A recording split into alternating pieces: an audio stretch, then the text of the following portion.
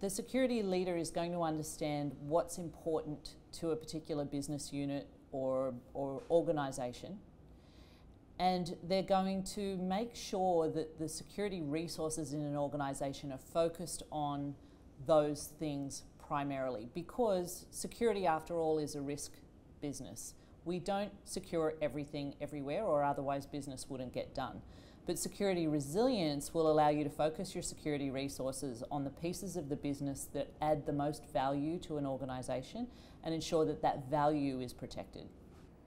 So resilience to me and within my organisation, um, obviously it's important not only because of who we are and what we do, um, but obviously we have an organisation to protect as well. So it, again, that ability to cope with adverse conditions and being global and being a member-led organisation is protecting that membership as well.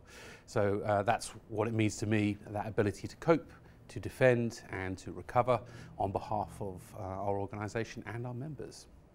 So when I think of resilient organizations, I think of ones that are flexible and adaptable and that can accommodate change in circumstances. It's a truism that as much as you plan for a particular event, the actual circumstances are very deterministic. And what you may learn through that incident is you need to adapt and change.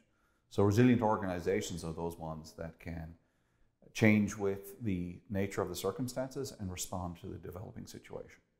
Yeah, the one thing on the topic of resilience and cyber resilience, I think that's really important for everybody is to understand that it doesn't mean that when we say assume compromise, that we're saying give up, because it's very different. It's just a realistic approach to the fact that you can do a lot for preventative, and we should do a lot for preventative, but understanding that some things can get through. So resilience is really about making this the whole, the 360 of the organization able to respond very quickly. So it's not about giving up, it's about being better prepared.